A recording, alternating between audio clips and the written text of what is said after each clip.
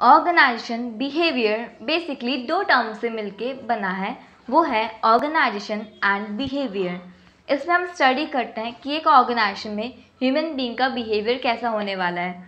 और इस स्टडी में हम इन्वेस्टिगेट करेंगे कि एक इंडिविजुअल ग्रुप और स्ट्रक्चर का क्या इम्पैक्ट पड़ता है और कैसे इनका बिहेवियर अफेक्ट करता है पूरे ऑर्गेनाइजेशन के बिहेवियर को।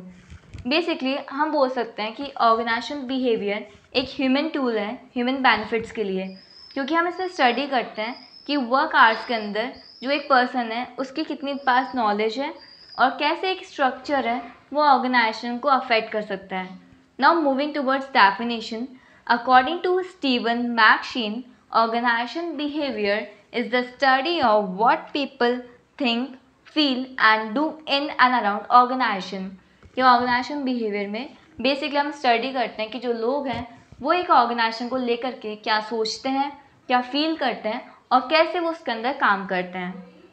The next definition is according to Cal Helen organisation behaviour is about management activities concern with understanding predicting and influencing individual behaviour in organisational setting so basically organisation behaviour में हम concern करते हैं उन management activities पे जो help करता है कि हम एक इंडिविजुअल का बिहेवियर एक ऑर्गेनाइजेशनल सेटिंग में अंडरस्टैंड कर सकें